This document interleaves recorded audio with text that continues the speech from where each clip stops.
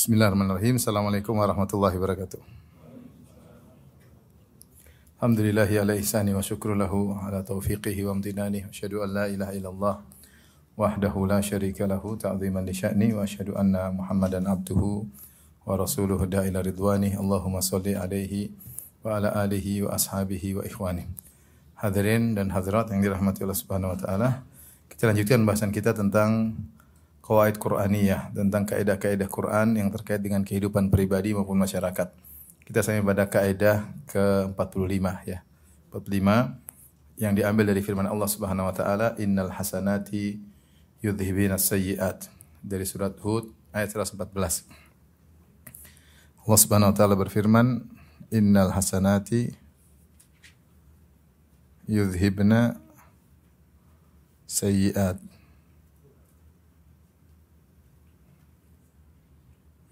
Uh, Quran Hud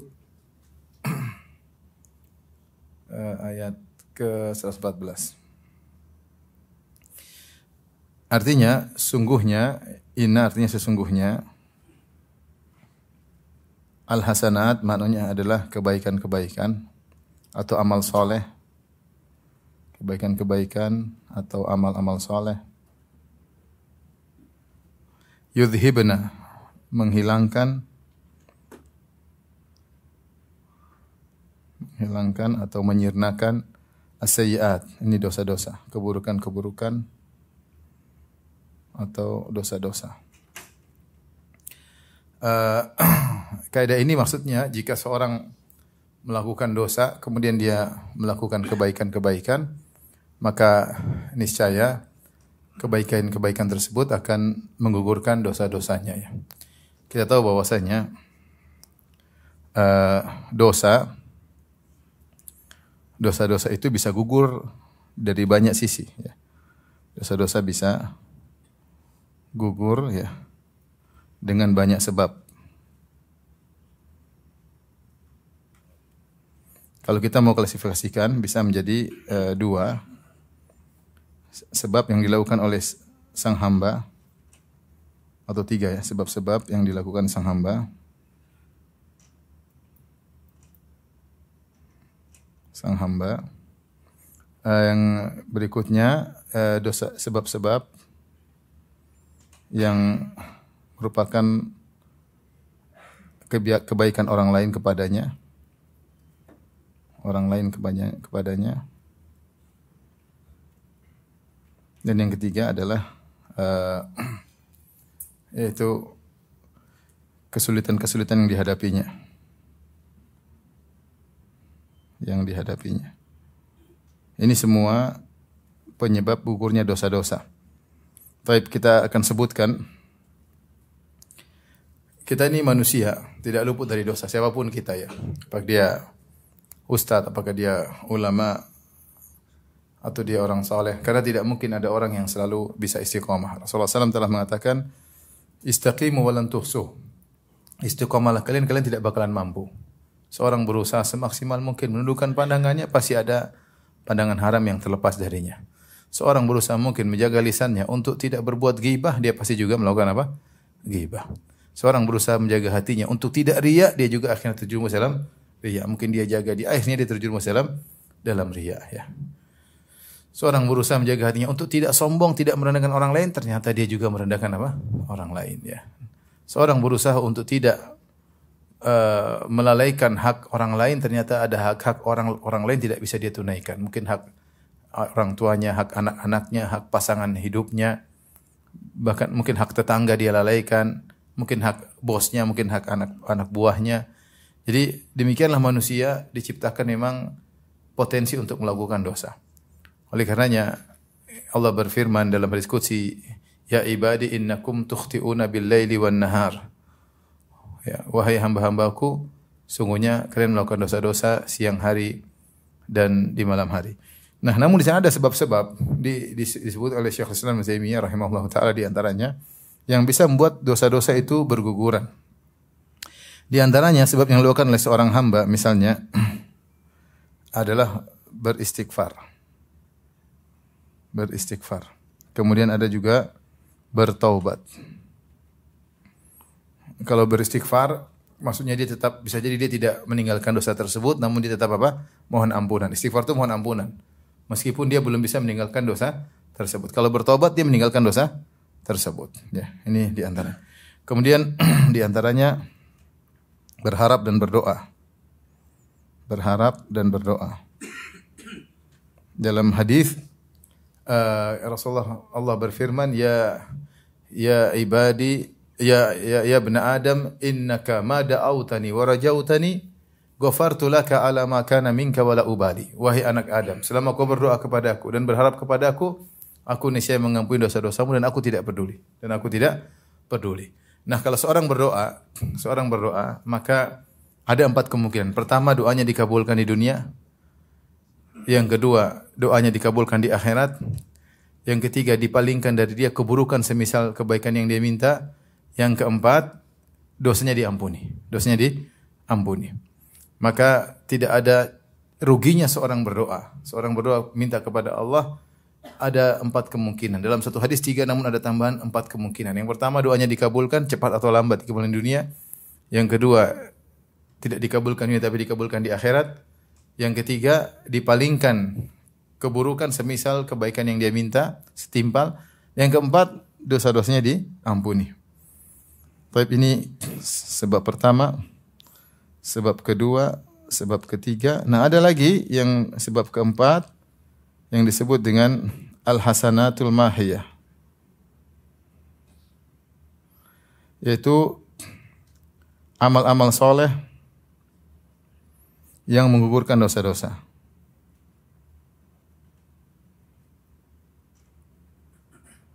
Ini juga penyebab, ini yang mau kita bahas poin ini. Ini yang mau kita bahas. Ke, bahwasanya kalau seorang melakukan kebaikan-kebaikan, maka bisa mengugurkan dosa-dosa yang dia lakukan. Adapun kesulitan yang sering dihadapinya bisa mengugurkan dosa, di antaranya misalnya, uh, misalnya adalah uh, semua jenis musibah. Semua jenis musibah. Ini kalau dia sabar, maka akan menghapuskan dosa-dosa. Sakit, letih, ma yusibul muslim min nasabin wala wasabin wala hammin wala adhan wala hazanin hatta syauka yushakuha illa kafarallahu biha min khatayahu. Tidaklah seorang hamba ditimpa dengan keletihan atau sakit atau kegelisahan atau kesedihan atau kekhawatiran tentang apa yang dia hadapi atau dizolimi oleh orang ya bahkan duri yang melukainya kecuali akan menghapuskan dosa-dosanya. Maka semua jenis musibah jika dihadapi oleh seorang hamba dengan sabar akan menggugurkan dosa-dosa. Tapi syaratnya dihadapi dengan sabar.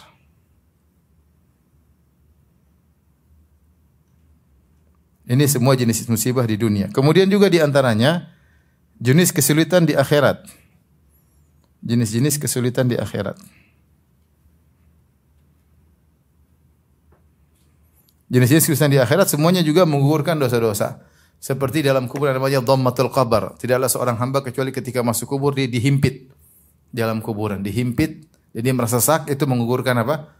dosa-dosanya. Di antaranya ketika melewati sirat, dia melewati kesulitan. Sebagian orang ada yang ketika melewati sirat, ada yang dicungkil oleh besi-besi di sampingnya disebut kalalib atau khotatib mencukil orang melewati sirat kemudian dimasukkan dalam neraka jahanam. Ada yang cuma dicungkil oleh besi-besi tersebut, dia terluka namun dia selamat. Dia terluka namun dia masuk apa? Surga. Nah, luka-luka yang dia alami ketika di atas sirat itu menggugurkan apa? Dosa-dosanya. Artinya dia punya dosa, tidak mengharuskan dia masuk neraka. Tapi dia harus dibersihkan dulu sebelum masuk surga. Maka dihajar oleh besi-besi tajam tersebut yang mencabik-cabik tubuhnya, namun dia selamat. Ini semua menggugurkan dosa-dosa. Ini berarti satu, dua, tiga, empat, lima, enam. Sebab-sebab mereka eh, yang merupakan kebaikan orang lain ya. Yang merupakan kebaikan orang lain kepadanya. Contoh apa? Doa orang lain kepadanya ya. Misalnya doa orang lain kepadanya. Misalnya sedekah orang lain atas nama dia. Misalnya haji dan umrah atas nama orang lain. Ini semua bermanfaat. Ini ada berarti 1, 2, 3, 4, 5, 6, 7, 8, delapan, sembilan ya. Pakai warna merah. Satu, dua, tiga, empat, lima, enam, tujuh, delapan, sembilan. Uh, yang terakhir, jadi kalau orang kita sudah meninggal, orang mendoakan kita bermanfaat nggak? Bermanfaat. Apakah anak kita, apakah orang tua kita, teman kita, siapa pun mendoakan kita bermanfaat. Atau ada seorang yang ber, berniat baik sama kita, dia bersedekah atas nama kita. Misalnya anak kita ternyata alhamdulillah kita meninggal dia kaya raya. Dia bilang saya kasih makan fakir miskin atas nama ayah saya. Maka pahalanya apa? Sampai. Ini bisa menggugurkan dosa-dosa. Kemudian dia hajikan umroh atas nama kita. Ini pun bisa menggugurkan dosa-dosa kita. Dia yang haji tapi atas nama atas nama kita. Kemudian yang terakhir yang ya, sebab yang berikutnya adalah sinilah ya. Yang keempat murni rahmat Allah. Murni ampunan dari rahmat Allah. Ini masih ada lagi sembilan yang ke sepuluh syafaat. Syafaat dari orang lain. Seperti anak kecil yang beri syafaat kepada kedua orang tuanya ketika di akhirat. Seperti anak-anak perempuan yang dirawat oleh orang tuanya dengan baik menjadi penghalang bagi orang tuanya dari neraka jahanam. Itu syafaat. Atau syafaat seorang kawan kepada kawannya. Ketika dia bersahabat dengan baik ketika di dunia, kemudian dia ingat kawannya, dia bisa memberi apa? Syafaat. Di antaranya syafaat Nabi Muhammad SAW kepada umat yang berhak mendapat syafaat. Dan di antara sebab diampuni dosa adalah murni ampunan dari rahmat Allah. Dalam hadis syafaatil malaika, malaikat sudah beri syafaat. Syafaatil anbiya, para nabi juga sudah beri syafaat. Kemudian syafaatil mukminun, kaum mukminin juga sudah beri syafaat. Semua memberi syafaat, tapi masih ada yang neraka jahanam. Wa baqiyat rahmatu rabbil alamin. Maka tinggal rahmat Allah Subhanahu wa taala. Maka Allah keluarkan dari neraka banyak orang yang harusnya mereka tetap di, tetap diadab tapi diampuni dosa-dosa mereka dan mereka dikeluarkan oleh Allah Subhanahu wa taala setelah semua orang-orang soleh, malaikat, kaum ini memberi syafaat. Inilah kira-kira ada 11 sebab. 10 tambah 1 ini 11 sebab dosa-dosa bisa gugur. Ada berapa? 11 ya. Nah, yang kita mau bahas adalah sebab yang keempat ini. Kita mau bahas yang ini. Al-hasanatul mahiyah. Amal-amal soleh yang bisa menggugurkan dosa-dosa. Karena bisa jadi seorang dia beristighfar, tapi istighfarnya tidak serius, sehingga dosanya belum diampuni. Jadi seorang bertobat tapi tobatnya ternyata tidak diterima oleh Allah karena persyaratan tobatnya tidak tidak dia uh, penuhi. Atau ada dosa-dosa yang memang dia tidak terbetik untuk minta ampun dan tidak bertobat. Dosa-dosa yang dianggap sepele.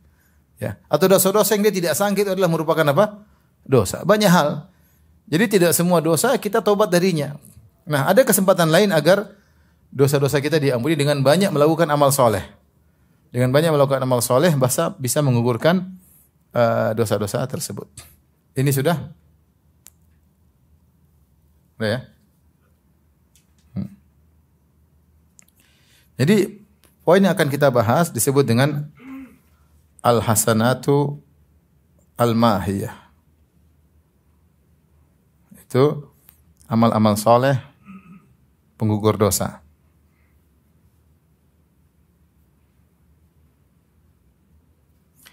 Para ulama memberikan logika seperti dalam hadis Nabi SAW. Ketika Rasulullah SAW menyebutkan tentang salat lima waktu. Ya. Lau anna nahra bi babi ahadikum yaktasilu minhu khamsa marrat fi kulli yaumin. Hal yabqa min darunihi syai' kata Nabi SAW tentang salat lima waktu. Jika seandainya ada sebuah sungai di pintu di depan pintu rumah salah seorang dari kalian. Kemudian dia mandi di sungai tersebut depan pintu cebur lima kali dalam sehari semalam Apakah masih tersisa dosa-dosa kotoran di tubuhnya? Jawabannya tidak. Kata Nabi demikianlah perumpamaan uh, amal soleh, solat lima waktu. Maka solat lima waktu itu penggugur dosa-dosa, ya, penggugur dosa-dosa. Uh, oleh karenanya para ulama menganalogikan dosa-dosa itu seperti najis, kemudian uh, amal soleh seperti air bersih, seperti air bersih. Jika seorang banyak melakukan amal soleh, seakan-akan dia memiliki air bersih yang banyak. Sehingga jika dia melakukan terkena najis-najis sedikit-sedikit, maka najis-najis tersebut terabaikan. Terlebih lagi jika amal solehnya sangat banyak. Seperti sabda Nabi SAW, lam yahmilil khabath. Kalau air sudah mencapai dua kullah, yaitu ukuran mungkin 200-250 liter, kalau ada najis-najis kecil tidak dianggap. Air tersebut masih dianggap apa? Suci. Kalau ada air 200 liter atau satu drum atau kurang lebih, kemasukan misalnya kotoran apa sedikit-sedikit tidak merubah sifat air tersebut, maka najis tersebut terabaikan. Maka kira-kira demikian jika seorang melakukan amal soleh, dia puas sholat malam ada, dia puasa sunnah ada, dia sedekah ada, berbakti sama orang tua ada, dia umroh oke, okay, dia juga haji, dia juga ramah sama tetangga, dia juga perhatian silaturahmi, dia juga dia berusaha melakukan banyak kebaikan, banyak kebaikan. Sehingga kebaikan yang terkumpul dia sangat banyak. Jika dia melakukan dosa-dosa sedikit-sedikit, maka diabaikan oleh Allah Subhanahu wa taala. Maka seorang dalam hidup ini berusaha mencari air suci yang bersih sebanyak-banyaknya sehingga bisa menghapuskan uh, dosa-dosa yang dia lakukan. Bahkan dalam satu kisah uh, Hatib bin Abi Balta'ah radhiyallahu anhu yang pernah melakukan kebaikan yang luar biasa. Dia pernah ikut perang Badar. Dia ikut perang Badar pada tahun 2 Hijriah. Kemudian enam tahun kemudian pada tahun 8 Hijriah dia melakukan maksiat dengan melaporkan kepada musuh bahwasanya Nabi Muhammad akan menyerang menaklukkan kota Mekah. Akhirnya ketahuan oleh Nabi Shallallahu Alaihi Wasallam kirim surat. Akhirnya sebagian sahabat mengatakan, ya Rasulullah, dakni adrib unuqa hatib. Ya Rasulullah biarkan saya penggal kepalanya. Kata Rasulullah SAW, tunggu dulu ya. La'allahu la'allallah tala annahu min ahli badar. Tunggu dulu, bisa jadi Allah tahu dia adalah peserta perang Badar. Lalu Allah qatala ala ahli Badar dan Allah bisa jadi telah melihat kepada peserta perang perang Badar kemudian Allah berkata berfirman I'malu ma syi'tum qad ghafartu lakum. Wahai para peserta perang Badar, lakukan apa yang kalian kehendaki, sungguh aku telah mengampuni apa? kalian. Akhir maksud saya dosa besar yang dilakukan oleh Hatib ini, dosa besar. Itu enam tahun setelah dia melakukan perang Badar. Ternyata dosa besar tersebut tidak mempengaruhi dia. Karena air bersih yang dia miliki sangat apa? Sangat banyak. Air bersih yang dimiliki sangat banyak. Yaitu apa? Ikut perang Badar. Ikut perang Badar. Maka jadi seorang memiliki air bersih yang sangat banyak seperti berbakti sama orang tuanya luar biasa. Atau dia membantu saudaranya luar biasa. Atau dia tauhidnya luar biasa. Sehingga ketika datang dosa-dosa yang muncul belakangan tidak mempengaruhi. Karena begitu kuatnya kebaikan atau bacanya kebaikan yang dia uh, lakukan. Ya. Dan al-hasanatul mahiyah ditunjukkan dalam banyak ayat, di antaranya dalil-dalilnya. Jadi ini dalil-dalilnya. Jadi Al-Qur'an dan As-Sunnah. Al-Quran tadi di antaranya yang pertama Quran surat Hud ayat berapa? 114. Kata Allah Subhanahu wa taala, "Wa aqimis salata tarafayn nahari wa zulafan minal laili innal hasanati yudhibna sayyi'at." Dirikanlah sholat di pinggiran hari dan sebagian waktu di malam hari. Innal hasanati yudhibna sayyi'at. Sungguhnya kebaikan-kebaikan itu menghilangkan dosa-dosa.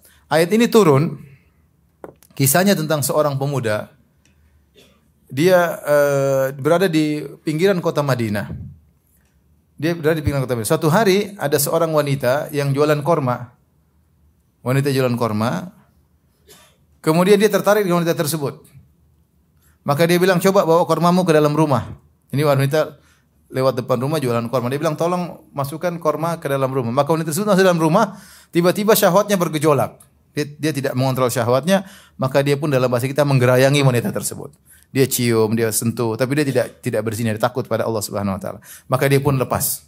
Tapi dia ada syahwat sesaat membuat dia akhirnya melakukan apa yang dia lakukan.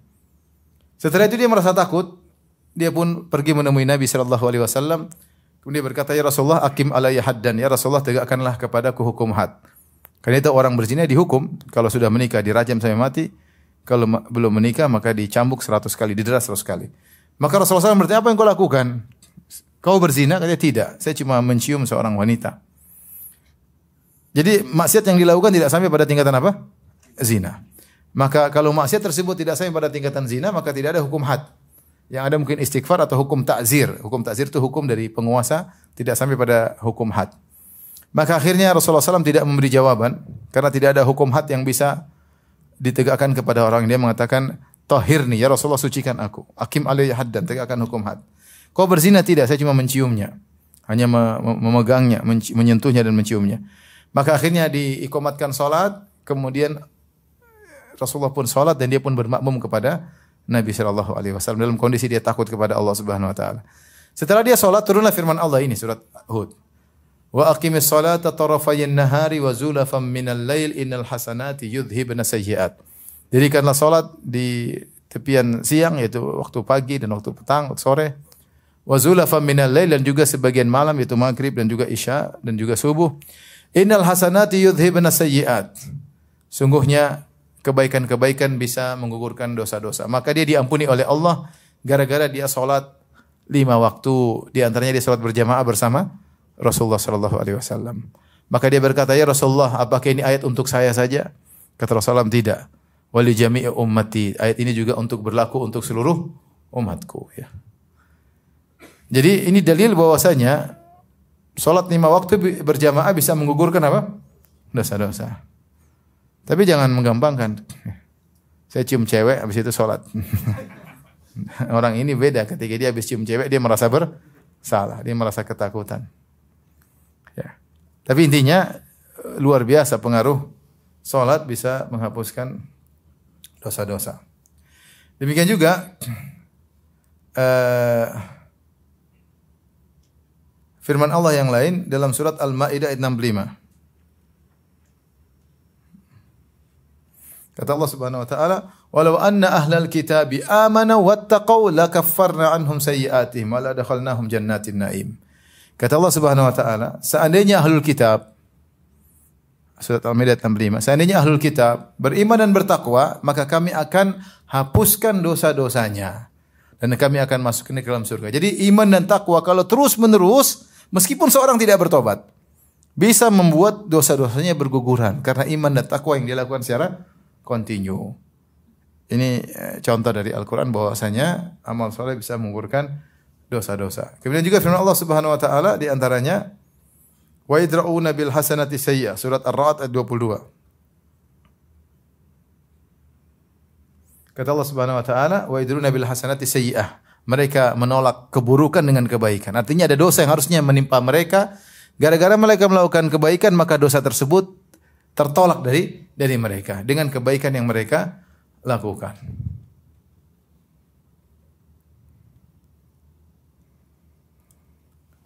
Dan di antara di antara uh, kebaikan yang bisa dilakukan adalah meninggalkan dosa-dosa besar. Surat An-Nisa ayat 31. Kata Allah Subhanahu wa taala, "In tajtanibu kaba'ira ma tunhauna anhu nukaffir ankum sayyi'atikum wa nudkhilukum mudkhalan karima." Kata Allah, jika kalian meninggalkan dosa-dosa besar, nukaffir ankum sayyi'atikum, maka kami akan mengampuni dosa-dosa kalian Wa nudkhilukum mudkhan karima dan kami akan masukkan ke dalam surga. Di antara amal soleh yang terbaik adalah meninggalkan dosa-dosa besar. Maka seorang kalau dia bisa meninggalkan dosa-dosa besar, maka dosa-dosa kecilnya akan diabaikan oleh Allah. Maka perlu bagi kita semua untuk mengenal dosa-dosa besar itu apa saja. Al-Imam Az-Zahabi rahimahullah menulis ada 70 dosa besar, kurang lebih 70 dosa besar. Kenalilah dosa-dosa tersebut, dan bersungguh-sungguh dalam kehidupan ini tidak terjerumus dengan dalam salah satu dari 70 dosa besar tersebut. Siapa yang selamat dari 70 dosa besar tersebut, maka dosa-dosa kecil akan diampuni oleh Allah Subhanahu wa taala. Allah berfirman, "Alladzina yajtanibuna alladzina wal fawahisha illa lamam inna rabbaka wasi'ul maghfirah." Dan orang-orang yang meninggalkan dosa-dosa besar dan perbuatan-perbuatan keji kecuali lamam. Lamam itu adalah dosa-dosa kecil yang tidak bisa dihindari salah ngomong, salah melihat, mungkin melihat yang haram, tidak sengaja atau yang banyak dosa-dosa tidak kita tidak bisa kita hindari, apalagi di zaman sekarang. Di medsos kita lihat apa.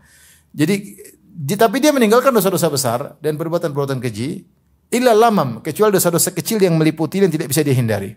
Kata Allah, "Inna rabbaka wasi'ul maghfirah." Sungguhnya Allah luas ampunannya. Allah akan ampuni. Jadi seorang berjuang berjihad untuk meninggalkan dosa besar agar dosa-dosa kecil di, diampuni. Ini semua dari Al-Quran bahwasanya al-hasanatul mahi amal soleh bisa menggugurkan dosa meskipun seorang tidak bertaubat. Apalagi kalau disertai taubat tentunya. Baik kalau sertai taubat. Adapun hadis Nabi wasallam, Rasulullah SAW pernah bersabda dalam hadisnya, ittaqillah haitsu ma kunt. Kata Rasulullah SAW, ittaqillah haitsu ma kunt wa atbi sayyi'ah al hasanata tamhuha. Kata Nabi SAW, bertakwalah kepada Allah di mana pun engkau berada. Di mana pun engkau berada, bertakwa kepada Allah. Tatkala bersendirian, tatkala di depan banyak orang, tatkala di dalam rumah, tatkala di luar rumah, tatkala di dalam negeri, tatkala di luar negeri, tatkala sedang mukim, tatkala sedang bersafar, ya.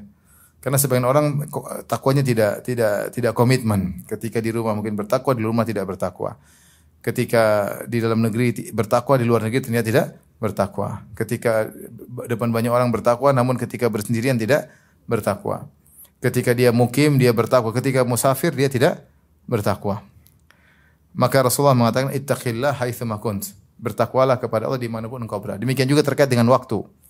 Jangan seorang bertakwa hanya di siang hari, malam hari tidak bertakwa. Jangan seorang hanya bertakwa malam hari, siang tidak bertakwa. Dia bertakwa di pagi hari, siang hari, sore hari, malam hari. Namun Nabi mengabarkan kau tidak bakalan mampu. Karena potensi manusia pasti melakukan apa? Dosa entah kelepasan lagi syahwat lagi mendominasinya, lagi keinginannya mendominasinya sehingga dia akhirnya melakukan dosa.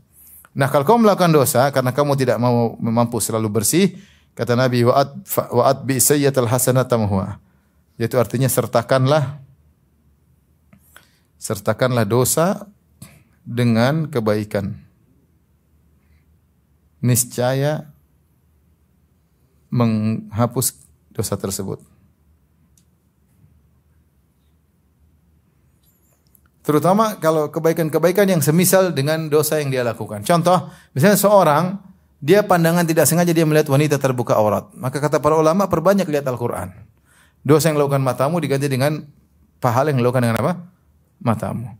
Kalau kau terlalu banyak bicara tidak ada manfaat, tutup dengan banyak berzikir kepada Allah Subhanahu wa taala sehingga jadi pengontrol dan pengeimbang dan bisa jadi dosa-dosa lisanmu diampuni oleh Allah Subhanahu wa taala.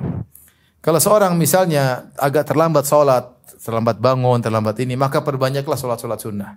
Perbanyaklah sholat-sholat sunnah untuk menambal kekurangan yang dia uh, lakukan. Seperti itu. Kalau seorang misalnya dalam muamalahnya ternyata masih ada hal-hal yang mungkin syubhat atau yang maka perbanyak sedekah. Perbanyak sedekah sebagaimana kata Rasulullah SAW, ya masyarakat tujar, wahai para pedagang sekalian, sungguhnya akad-akad kalian ini dihadiri oleh syaitan. Maka bersihkanlah dengan banyak apa? Bersedekah kepada Allah Subhanahu wa taala, bersedekah kepada orang miskin dengan mensucikan ya. Uh, dan semisal itu. Jadi dosa-dosa yang kita lakukan kalau kita bisa melakukan amal soleh yang seimbang maka akan bisa menggugurkan dosa-dosa tersebut ya. Dosa tersebut. Makanya jika seorang pernah menggibah orang lain, dia menceritakan kegiatan orang depan orang dan orang yang digibai tidak tahu, maka dia harus bayar atau dia tebus dengan menceritakan kebaikan-kebaikan orang tersebut. Di majelis yang di mana dia pernah menggibah lelaki tersebut. Dengan dia sudah mencoreng nama baik orang tersebut, maka dia memperbaiki citra orang orang orang yang dia corengi tersebut. Ini contoh bahwasanya kebaikan-kebaikan bisa menghapuskan dosa-dosa. Taib, ini dalil-dalilnya. Kemudian contoh-contoh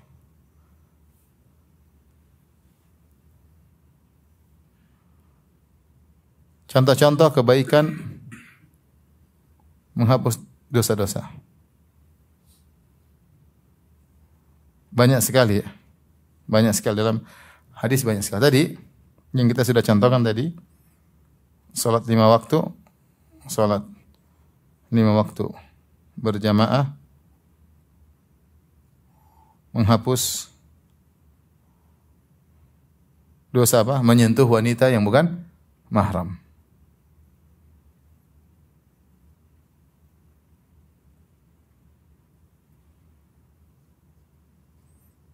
Tentu tidak dengan bukan menggampangkan ya, bukan menggampangkannya. Contoh ini. Sama seperti dalam hadis jangan sampai salah paham. Hadis tentang seorang wanita, seorang pezina yang melewati sebuah sumur, tiba-tiba ada seekor anjing yang haus, kemuter-muter di atas sumur tersebut, ingin minum air tapi nggak bisa karena dia nggak bisa berenang. Bahkan dia keluarkan lidahnya karena saking kehausan. Maka wanita pun kasihan, maka dia pun melepaskan fanazaat muqah, dia lepaskan sepatunya, kemudian fanazalat fi dia turun di sumur, kemudian dia isi air di sepatunya tersebut kemudian digigit sepatunya kemudian naik sumur. Setelah itu dia minumkan anjing tersebut kata Nabi SAW. Fagafarallahu laha bihi. Maka Allah ampuni wanita tersebut gara-gara dia meminumkan seekor apa? Memberi minum kepada seekor anjing. Jangan sampai orang, nggak apa, kita berzina habis itu cari anjing kasih kasih minum kalau nggak ada kucing juga nggak apa-apa, nggak boleh. Ya, apa-apa. Ini salah paham ya. Tapi maksud saya uh, kebaikan bisa mengukurkan dosa, tapi bisa kata Ibnu Qayyim karena keikhlasan yang ter, apa dalam apa? Dalam hatinya. Artinya seorang berusaha untuk melakukan kebaikan yang bisa dia lakukan. Ya. Jangan dia sepelekan karena kebaikan-kebaikan selain dapat pahala punya fungsi untuk menggugurkan apa? dosa-dosa. Untuk menggugurkan dosa-dosa dan semaksimal mungkin meninggalkan dosa-dosa besar. Makanya saya bilang kita ini berusaha meninggalkan dosa-dosa besar. Dan tidak mungkin antum bisa meninggalkan dosa besar kecuali antum tahu dosa-dosa besar apa saja untuk antum hindari. Kalau antum tidak tahu bagaimana antum bisa menghindari dosa besar, kata seorang penyair, "Kaifa yattaqi man la yadrak man la yadri ma yattaqi?"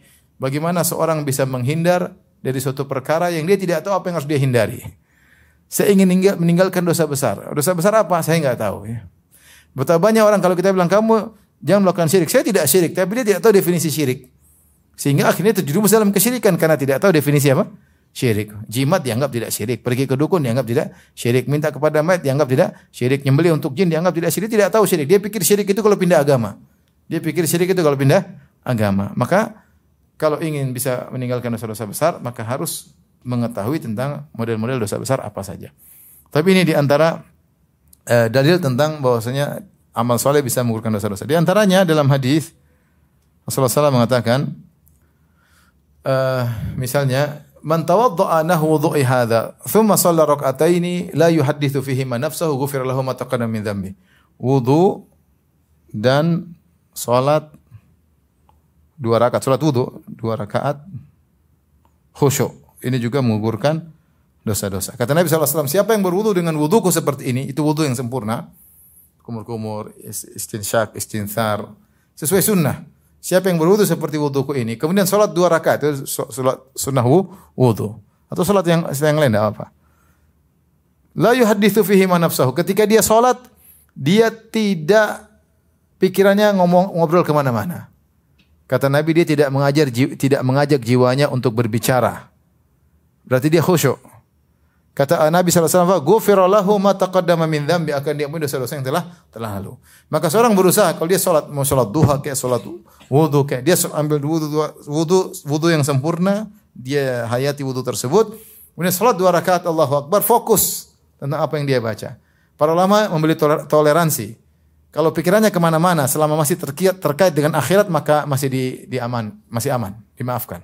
Dia sholat tahu-tahu dia ingat kuburan. Dia sholat tiba-tiba dia ingat kedua orang tuanya dia kurang berbakti. Tiba-tiba dia tentang terkait masih akhirat maka masih dianggap khusyuk. Meskipun mungkin di luar daripada konteks apa yang dia sedang dia dia baca. Tetapi selama pikirannya masih akhirat dia mungkin berpikir tentang hari kiamat, tentang alam barzah, tentang kekurangan tentang dosa yang dia lakukan, maka ini masih dianggap khusyuk oleh syariat. Sehingga kalau dia sholat dua rakaat dengan kekhusyukan seperti ini, maka diampuni dosa-dosanya yang telah yang telah lalu. Contohnya lagi misalnya al umrah umrah ke, um, umrah kepada umrah berikutnya. Umrah hingga umrah berikutnya. Kata Nabi SAW, al-umratu ilal umrati kafaratun lima bainahuma. Antara umrah yang satu dengan umrah yang lain akan menggugurkan dosa-dosa di antara keduanya. Antum umrah misalnya bulan Januari. Kemudian umrah Januari tahun depan maka dosa antara Januari yang pertama sampai Januari depan diampuni oleh Allah Subhanahu wa taala.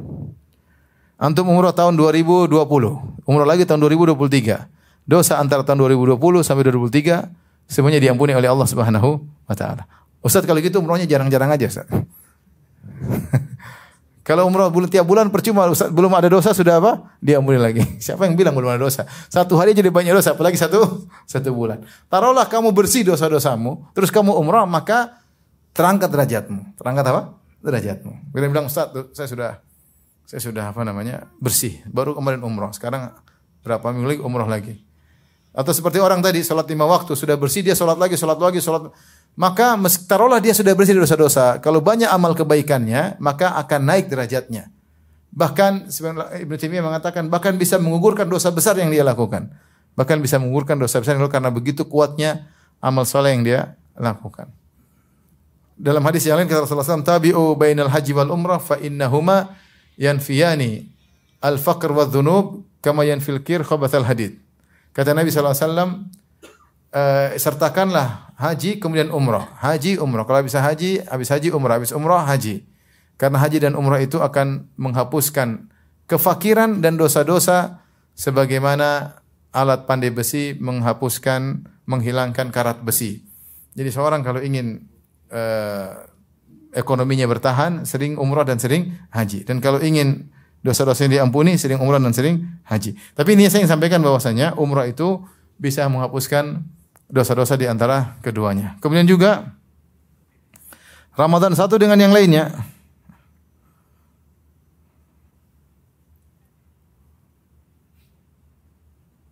Hingga berikutnya, hingga berikutnya.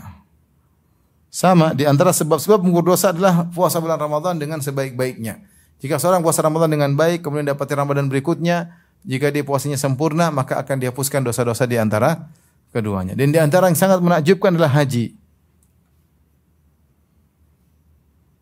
Itu apa? Haji. Haji juga bisa uh, menghapuskan dosa-dosa. Bahkan sangat kuat penghapusan dosanya sampai semua dosa besar, dosa kecil semua hilang. Ini semua yang lainnya, ini hanya dosa-dosa kecil. Yang pertama, satu, dua, tiga, empat, ini cuma dosa-dosa kecil yang hilang. Tapi kalau haji, dia punya kelebihan, dia mengugurkan bahkan dosa-dosa besar. Karena Rasulullah SAW bersabda, Man hajja lillah walam yarfuth walam yafsuk raja amin dhunubi ka yaumin waladatu ummuh. Siapa yang berhaji ikhlas karena Allah Subhanahu wa taala.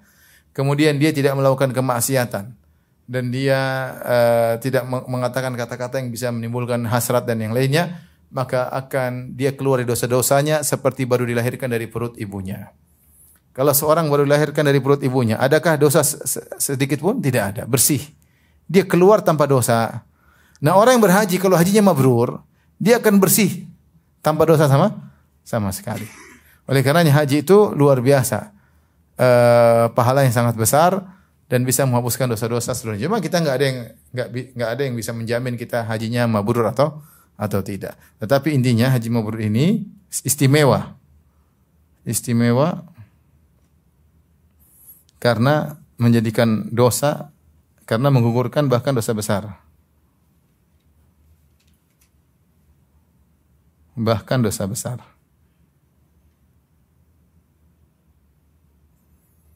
Tapi di antara hal yang dalil juga yang amal soleh bisa menggugurkan dosa adalah misalnya yang keenam menuntut ilmu, menuntut ilmu. Dalam hadis kata Nabi sallallahu alaihi wasallam wa innal alim la yastaghfir lahu man fis samawati man fil ardi hatta al hitani fil bahr. Kata Nabi sallallahu sungguhnya orang yang berilmu, orang yang alim, maka akan memohon ampunan untuknya semua penghuni langit dan penghuni bumi. Sampai ikan di lautan pun memohon ampunan untuknya ini uh, apa namanya uh, manfaat bagi orang yang menuntut ilmu karena menuntut ilmu mengukurkan apa dosa-dosa. Bahkan di sini dalam sebagian uh, hadis ada orang-orang yang datang kemudian hadir di majelis ilmu, di antaranya majelis zikir, majelis ilmu. Kemudian dia datang bukan untuk menuntut ilmu tapi ada keperluan, maka ternyata dia juga diampuni disertai beserta orang-orang yang hadir semuanya. Maka ada yang bertanya, "Ya Rasulullah, mereka ini datang atau dia datang bukan untuk menuntut ilmu, kok bisa diampuni? Maka Nabi sallallahu alaihi wasallam humul berkata humul qaum la yashqa bihim jalisuhum. Mereka orang-orang yang berzikir yang menuntut ilmu di antaranya adalah suatu kaum yang orang duduk bersama mereka tidak akan uh, rugi, tidak akan merugi. Di antaranya yang ikut duduk di situ bersama mereka kecipratan diampuni dosa-dosanya oleh Allah Subhanahu wa taala. Dan masih banyak ya uh, seperti misalnya berbakti pada orang tua ya.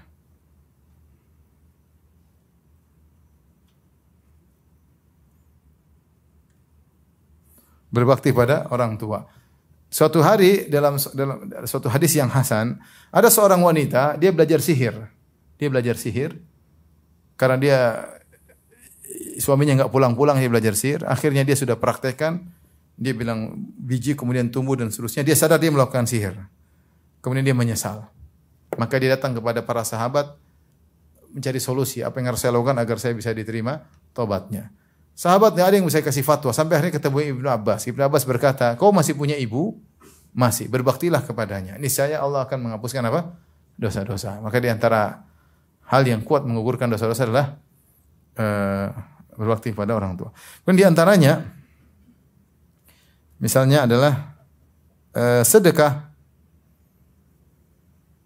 sedekah dalam hadis kata Nabi sallallahu alaihi wasallam, "Shadaqatu sir tudfi'u ghadabar rabb." Sungguhnya sedekah yang diam-diam, sedekah diam-diam akan meredamkan kemurkaan Allah Subhanahu wa taala. Akan meredamkan kemurkaan Allah Subhanahu wa taala. Di antara juga misalnya salat malam uh, Rasulullah menyebutkan di antara keutamaan salat malam adalah menggugurkan dosa-dosa. Siapa yang bangun di tengah malam, kemudian dia sholat, eh, melawan rasa kantuknya, kemudian dia sholat meskipun tiga rakaat, meskipun satu rakaat dia sholat maka niscaya akan digugurkan dosa-dosa. Meskipun dia tidak istighfar, meskipun dia tidak istighfar, karena sholat malam itu sendiri uh, penggugur penggugur dosa, menghalang daripada kemaksiatan dan di antara fungsi sholat malam adalah menggugurkan uh, dosa. Dan secara umum kebaikan-kebaikan yang dilakukan sebab gugurnya dosa-dosa. Maka seorang mumpung masih ada umur, masih ada kesempatan, masih ada waktu, berusaha untuk memanfaatkan umurnya, waktunya untuk beramal soleh yang bisa dia lakukan. Baca Al-Quran, berzikir, bekerja untuk niatnya, untuk membantu orang tua, untuk membentuk untuk membantu kerabat, maka kerjaan dia semua berkah. Dia bekerja dalam rangka untuk memberi nafkah anak istri dan juga untuk misalnya untuk mendidik anak-anak, anak butuh biaya untuk sekolah, niatkan untuk itu semuanya berpahala. Kegiatan dia dari awal sampai akhir semuanya berpahala di sisi Allah Subhanahu wa taala. Inilah ikhwan dan akhwat yang rahmati Allah Subhanahu wa taala, al hasanatul mahiyah di antara sebab gugurnya dosa-dosa adalah orang banyak melakukan amal kebajikan. Semakin banyak melakukan amal kebajikan, maka semakin banyak air bersih yang dia miliki. Dan kalau semakin banyak air bersih yang dimiliki, kalau ada dosa noda-noda najis-najis, akan diabaikan oleh Allah Subhanahu wa taala. Tapi demikian saja. Subhanakallah bihamdik asyhadu an la ilaha illa anta Assalamualaikum warahmatullahi wabarakatuh.